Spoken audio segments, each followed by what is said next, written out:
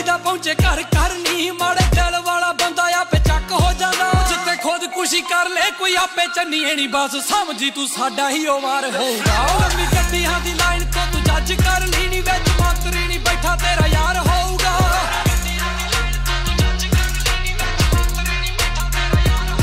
ਲੰਮੀ ਗੱਡੀਆਂ ਦੀ ਲਾਈਨ ਤੋਂ ਤੂੰ ਜੱਜ ਕਰ